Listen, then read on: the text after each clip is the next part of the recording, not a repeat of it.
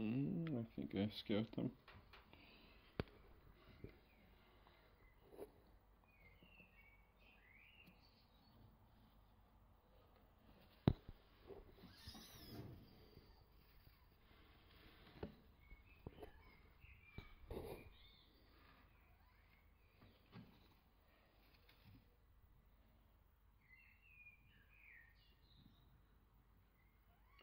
Seems that they are not interested in it.